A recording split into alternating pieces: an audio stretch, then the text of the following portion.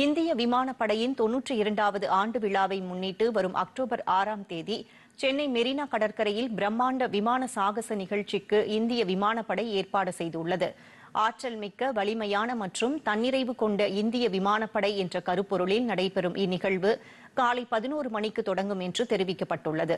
இதுகுறித்து தாம்பரம் விமானப்படை தளத்தில் செய்தியாளர்களிடம் பேசிய விமான சாகச நிகழ்ச்சியின் தலைமை ஒருங்கிணைப்பாளர் ஏர்வைஸ் மார்ஷல் பிரேம்குமார் மொத்தம் 72 விமானங்கள் பங்கேற்கும் இக்காட்சியில் ஆகாஷ் கங்கா குழுவின் வான்குடை பாய்தல் சூரிய கிரண் குழுவின் விமான வித்தைகள் மற்றும் சாரங் குழுவின் ஹெலிகாப்டர் சாகசம் ஆகியவை சிறப்பு நிகழ்வுகளாக இடம்பெறும் என்று கூறினார்.